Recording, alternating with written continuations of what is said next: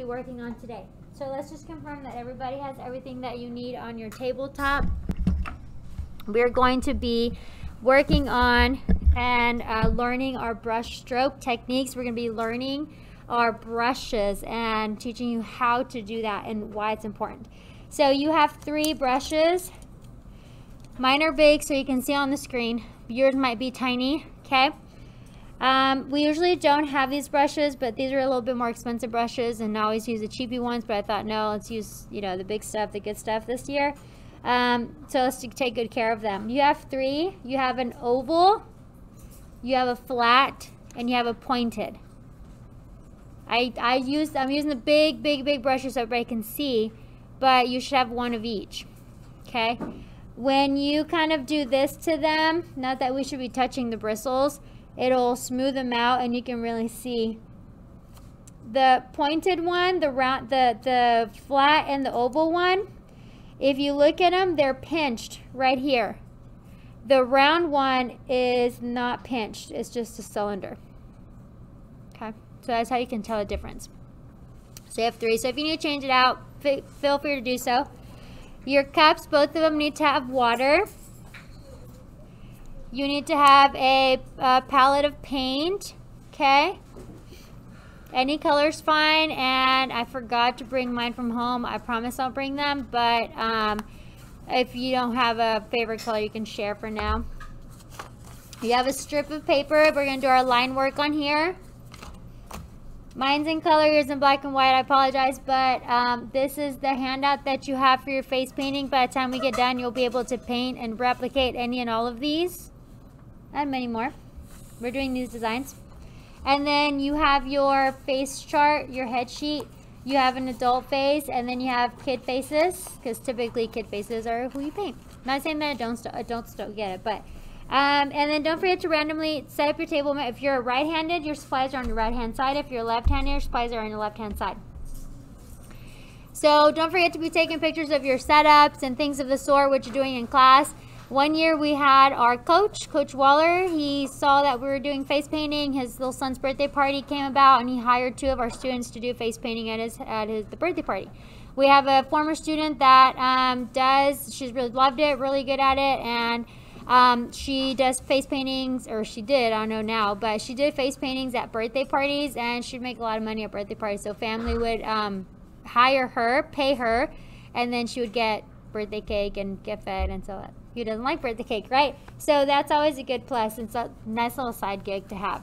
Um, plus face painting and all that helps you um, be better. So when you do makeup and nail art, all the stuff that you learned today is going to trickle, like henna will always trickle over to following skills and techniques, okay? So don't feel like, oh, okay, henna, we're done with it. Everything I learned, that's it. I'm not going to ever use it again.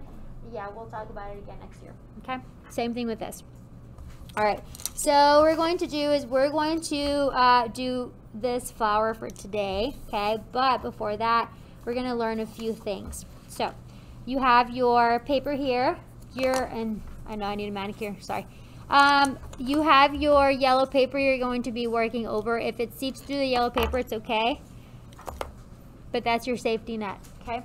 Now we have um, our Snazaroo Snazaroo is a really good brand. You can find these if you want to buy your own set on Amazon.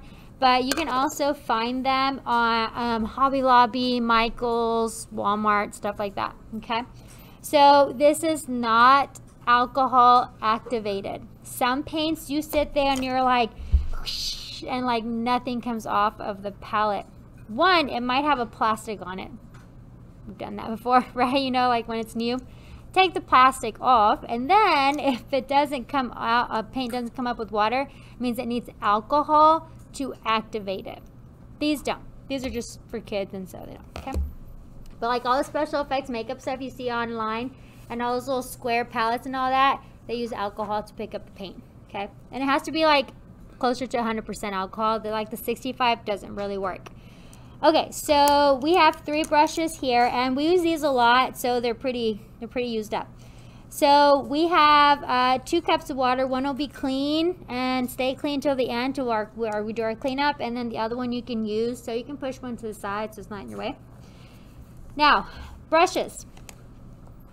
I'm going to do the square brush. This is the brush. This is the handle. This is the tail of the brush. Okay. This is the crimp. Okay. This piece right here, the metal piece, is what holds the handle and the fibers together. The If you go to like Hobby Lobby and you go down the paintbrush aisle, there's some paintbrushes like $60. You're like, wow. It's because they're bristles that they're made of. It's really expensive. They absorb well and things of the sort, so they hold pigment better, and you'll see what I mean when we use these. I thought these were really high fancy. No. Okay, because when I started painting with it, I was like, ooh, that the reviews were not right on these brushes. Um, and so you you pay for what you get what you pay for for the most part, right? Unless if you're ordering from Amazon sometimes. So the actual crimp, there's crimps here Okay, and that holds the uh, wood, sometimes it's plastic or metal, but it holds that to this barrel here. And then the crimp here, which with the square one is flat, that holds the bristles inside. There's glue in here on both ends. So if you submerge this into the water like so, and it's past this point here, one is going to crack your paint and your wood but two, it's going to dilute the glue and with time it's going to fall apart. So your $60 brush that you just paid for, it's not worth $6 anymore, okay, because it's broken. So keep that in mind. These brushes, most of them have already been used, okay, because last class, but they're new. Some of them are not, have not been used. So when it goes from the manufacturer to you, to the store to you, when you open it, they're hard. And they're, they're like, oh, on them poke you sometimes. So what it is is they have a type of gel over them so they are nice and, and sleek and they like they're shaped. Once you get them and use them, they look like my hair by the end of the time you use them like everywhere crazy, right? When your brush gets like this, like that, right, you take a little bit, I like uh, mousse instead of gel because some gels are really thick and flaky.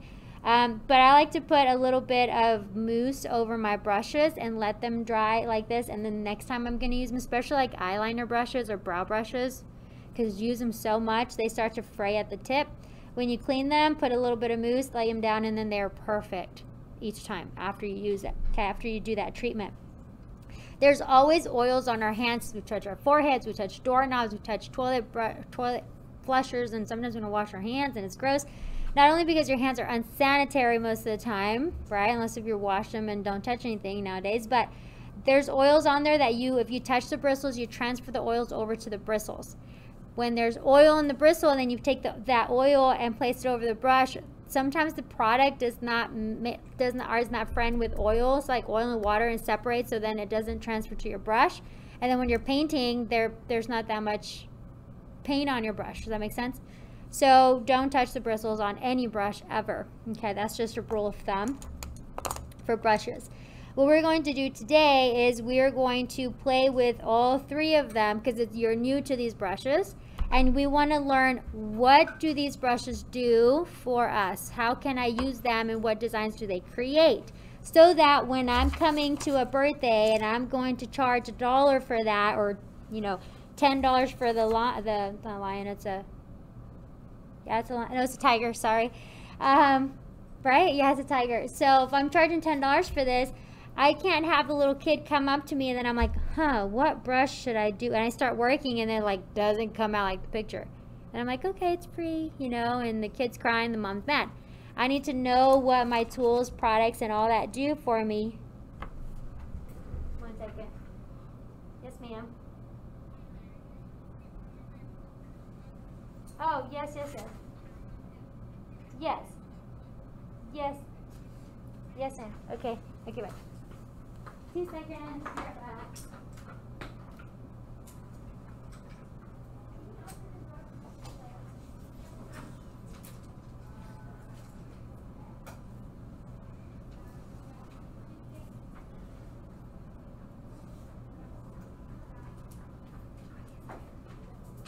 Okay, so it's important to know what your tools do and how your products work. So that's what we're doing today. We're exploring. Okay, so we're going to start with our square. If it's new, first thing you, oh, and paper towel, everybody have paper towel. Uh, pass down your roll of paper towel. I'm sorry, I apologize. And fold it. Now, y'all, these are, y'all know these are cheap paper towels. You want to use the Bounty paper towels when you're working with paint. uh, face painting. So you want to take your brush and you just want to, mine has water because I used it last class period. Yours might have water, but you just want to break that gel coating and just go sweep it back and forth very gently. Okay. Dip your brush into the water and the belly of the brush. Okay, so if you look at your foot, you've got the toes and you've got the heel. When you and the middle is the belly, right? So when you look at brush, the tip is the toe, the heel is this piece here where it's crimped. The belly is the middle. So toe, belly, heel. Okay? All right, so dip that in the brush into the water. You're going to dip the brush into the side of the cup. The belly of the brush is going to be swayed back and forth like so. That's helping get rid of that coat of gel. If you have any pigment or paint or anything, that helps to get rid of that. But you're just swirling using the outer skirt or outer rim of the cup or the walls of the cup to move your brush. You never want to go like this. You stamp it down. You don't want to do that because you mess up your brushes. So swipe the belly on the rim of the cup or just go back and forth on the side where there's no water. And it will pull all the excess water out. Go ahead and dip into your, your product. You're going to go front and back front, you're sweeping, front and back. I'm to do it on top here. Front and back. I should have got a different color. It's hard to see. Front and back, front and back, right? Dip a little bit of water and front and back, front and back. I like to have a water bottle and I squirt, I spray water over my paints so I don't get too crazy much water. And it stays nice and wet and it doesn't dry on me. It's just easier when I'm working. So I'm loading, what I'm doing right now is I'm loading my brush. I loaded the brush on the top and the bottom of the belly of the toe. But now I want to get inside of the brush. So how do I do that? I'm going to put my brush down and I'm going to show you on a paper towel. Put my brush down and I'm going to fan it like this, sideways. And that is how you spread the bristles out so that paint gets on the inside of the brush. So I'm going to grab a little bit of water, push my belly down, and I'm going to make fan it from right to left on one side of the belly and fan it from right to left on the other side of the belly. Okay? Now, when I do that, don't push too hard because then you're going to fray the bristles. You want to be gentle. Very, very gentle. Okay? So my brush is now fully loaded. By the way, this uh, does come off of uh, clothing. I already got on my sleeve. But it does come off of clothing, okay? All right. So we're going to take our brush and at the edge and the top, we're just going to push down and lift up. And again, we're going to push down and lift up. When I push down, right, and I see water on the top of my belly of my brush, that means my brush is too wet and I have too much water. How do I fix that? I take my paper towel, bounty paper towel, not this kind because this kind, it's not good. And I'm going to tap the belly of my brush on my towel my paper towel and it's gonna pick up. Not not necessarily the tip of it but like the be the belly and the foot. So it's picking up all the excess moisture the excess water that you have on your brush. So that now when I go down and I push my brush down I have less water that deposits. Okay go and put load your brush again sweep over your palette right, left, right, left. Be gentle. You can go fast, but just be gentle. And now push the bristle down and now pick up. And you see there's less water. It's less liquidy now because it's got less water. You should tap the water out. So you need to know how much water does this brush absorb? Are my bristles uh, animal bristles? Are they nylon? Uh, what kind of plastic are they? Are they, I've heard of them, human hair. There's all kinds of different bristles, okay? So which one does this, these, do the brushes that you're working with have? How much water do, do they absorb? How much paint do they absorb? So that way I know if I've got to paint this whole tiger here, I need a brush that's going to absorb a lot of paint. Okay, so I need a good brush so I don't keep dipping into my brush, uh, into my paint, and then paint, and then dip into my paint, and it takes me longer, okay? Time is money, so you gotta, you gotta work fast, okay? So then I'm gonna do the same thing to the next two. Take your oval brush, dip it into your water, sway, sway, sway on the side belly of the brush against the side, inside walls of the cup. Dip it into your paint, Sweep it side to side, right, left, right, left. Do the sweep sideways to load the inside of the brush gently in the shape of a um, of a rainbow. Okay. And then you're going to tap down on your paper and pick up. And tap down and pick up. Tap your uh, brush the belly against the paper towel so that it absorbs the liquid. Load without adding water, load your brush. And then tap down again and pick up and then tap down again and pick up. And take a notice on how less wet your brush is after you've tapped off on your napkin. You get more of a stronger pigment.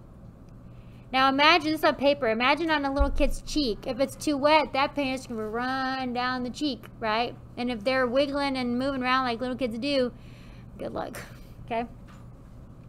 All right, we're to load our last brush. So let's break the seal on our pointed brush. Especially if it's brand new, you're to sway it on the inside wall of the cup with some water loaded. You're going to sweep it. Now, because this brush at the heel between the bristles and the metal, it's not pinched, it's not crimped, it's, it's cylinder. You can even feel like it moves a little bit more even. Okay, so you're just going to have to rotate the brush because you don't flip it over the cylinder, okay? Load it and then tap down, pick up, tap down, pick up. Tap the brush on the napkin to absorb the liquid, the excess liquid. You can even roll it if you wanted to. And on your napkin, you can see, because on your napkin, you're dropping off some of the paint, but you can see where there's water that's being absorbed. So, but not adding more water, but add more uh, of your palette of the paint. Swipe side to side. Rotate the brush as you're swiping because there's no top or bottom. And now tap your brush down and pick up and down and pick up and see how much more coverage you get, how much more pigment you lay down. And that's simply because there's less water on your brush. Now, we have three different shapes of brushes. Let's observe the shapes that create are created by the brush. Flat edge, curved edge, curved edge with the point. Okay. So we're to be working back and forth with our, um, I dropped my paper over here. We're to be working back and forth with our brush. Actually threw that away. Okay, so we're going to do is now we're going to take our square brush. We're going to load it. Try not to add any water so we have pure pigment. And we're going to take our rectangle, our square brush, or flat brush, and just swipe down and stop.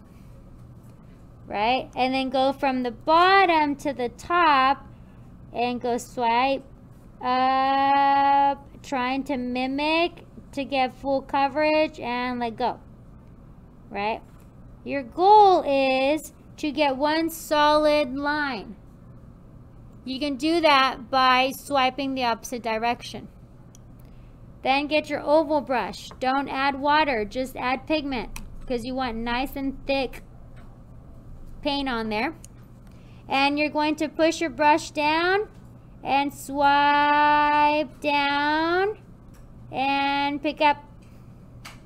And then turn your brush onto the other side, to the other belly, and push the brush, align it, Line it up, push the brush down, expand the bristles, and swipe up and pick up. You have a solid line. Same thing, let's go to our pointed brush. Do not add water, just add pigment, paint, product, whatever you're working with.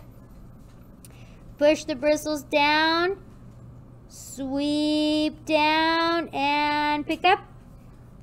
Flip your brush around. Push it down. Try to line it up. No, I didn't turn my brush, did I? I don't think I turned it. And same thing and lift up. So, if I'm going to make this snake or the web of the Spider-Man, which brush, now that I know what they do for me, which brush do I think in my mind I need to grab to make these lines? So now you know. Yeah, absolutely, right? Because of the shape of the line. Now, if I want to do something like the rainbow, which line am I going to grab? Which brush am I going to grab? The square, right? But, so I'm using the big, big brushes, right? You asked me guys that have the tiny brushes. If that little baby's got a little cheek, I'm not going to use these big brushes, right? So if I have a set of 12 big square brushes, I need to know what size line each one of them makes. So when I have them out and I have a little baby coming, I use a little brush or when I have an adult coming, I was like, oh no, I need the big brush, right? So learn your tools. Just like with eyeshadows and big eyebrows, little eyebrows, things of the sort, okay? All right, so next thing that we're going to do is the pushing down of the bristles. So you've noticed when you push the, oh, so you have your bristles, right? When you push the bristles down, they, the brush down, the bristles expand, and when you lift it up, the bristles go back, right? So we're gonna do that now. Pick up a little bit of water with your square brush. You're going to pick up some paint, load it up. If you picked up too much water, just tap the belly on the paper towel and add some more pigment. And we're going to see what kind of, how thick, how wide we can get with this brush and how thin we can get with it. So we're going to push the brush down, push, squeeze, oops, Squeeze the bristle, push it down, push it down. Expand it, make it fan out, and then lift up. How thin can you go? That's how thin I can go. Reload your brush. Let's try one more time. Okay, we're going to push our brush down. We're going to really push it. We're going to try to fan out the bristles as much as, as they will expand. I will swipe and then slowly start to lift up. And how thin can I go? There we go. Okay. A little shaky, but that's okay. So now let's go with our oval brush. Get your oval brush. Add teeny bitty bit of water. Add some pigment. Tap it off on your napkin if you've got too much pigment okay? You're going to push the bristles down against the paper. With the heel, push and try to make it a fan. Try to fan out those bristles as much as you can. Swipe it and then carefully, slowly start to lift up. How thin can you get the line? Okay. Do it again. Load your brush. One more time. You're going to push the brush down. Expand the bristles as you swipe downward. And then you're going to lift the brush up. And how thin can you go? Okay. And you're going to do the same thing with the last pointed brush. Pick up water, just a little bit, itty bitty little bit. Load your brush. If it's too much water, tap off on your napkin. You're going to push your brush down. Try to expand the bristles as much as they'll expand. Drag the brush. Slowly lift the brush and see how thin you can go. Do that twice. Don't forget with this one, as you're, you're loading your brush, roll it since there's not a top and a bottom. Lay the brush down. Push the heel down. Try to expand those bristles as much as possible. Lift up as you come to the end and see how thin you can go. So now I created a solid line going into painting in different directions. Now I know what shape it's creating. Now I know how much water or paint it'll hold. Okay.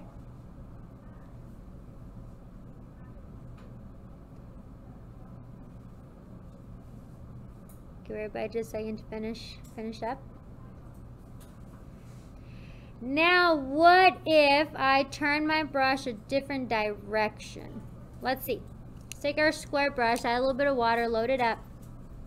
So I know what it's going to look like right here if I just hold it flat, belly up, belly down. Okay? If you run out of space, you can flip it over. I'm going to flip it over. It's probably a bad idea, but I'm to flip it over. Okay. If I just bring my brush and I just use the corner edge, I'm just going to get a rectangle or a square, flat edge. What if I take my brush and instead of holding it straight, what if I angle my brush like this? Ah. Right? It's at an angle now. What if I take my brush and put it on its side instead of on its belly? So here we go. Oh, right. I just got three different brush strokes from one brush. Let's not mention all the degrees in between, right? Same thing. Let's try that with our oval. Let's see what we get with our oval. Our, oh, dang it. Our oval brush, straight down. Let's turn it at an angle. And let's turn it on its side. Same thing, gives us different things. The round one, it's round. Doesn't matter how you turn it, is is round. it doesn't have a flat belly, so it's just going to give you the same thing. Okay. What we're going to do now is teach you how to clean your brushes. So what you're going to do is you're going to, one, paint off as much paint as you can on your paper to try to get rid of as much of the paint as possible. You can do this on the napkin or you can do this on the paper towel. I'm sorry, or paper. You're going to take your brush, you're going to dip it into your water, and you're going to slide the side of the belly on the inside wall of the cup, not on the floor of the cup, not on the bottom of the cup. Okay? Do both sides, one belly and then the opposite belly. You're then going to take your paper towel and you're going to swipe. If when you swipe your brush is dirty, that means it's not clean. You got to keep going. Swipe, swipe, swipe. Pull the brush out. Wipe on the paper towel. Put it to the side. You're then going to get your clean water. And you're going to swipe, swipe, swipe the brush. Now that you've got most of the paint out of the brush. And now you're just doing like the minor details. Swipe on the inside belly. The belly on the inside of the cup. The cup has little ridges. So you can go from the bottom to the top. And you'll hear the little click, click, click, click. Right? That helps. And then you're going to come and wipe on the belly of the brush off on the napkin. This, you take your napkin like this and you fold, you pinch the brush and pull out. Like so. That's to help. Okay, get all that liquid out. And that's how you clean your brushes. Please do that to the other two brushes. The water goes down the drain, trash in the trash. You're welcome to leave that yellow paper on your tabletop for the next group, unless if it's crazy dirty.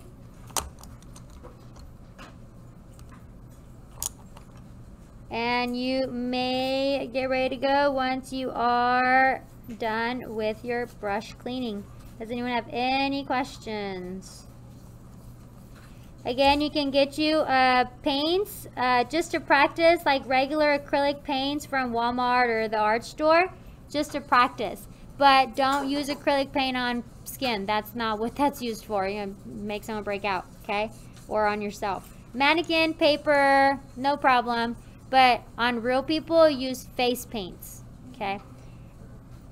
And then anytime you see brushes, I, I'm a fanatic of brushes just like Ziploc baggies. It's about the same addiction.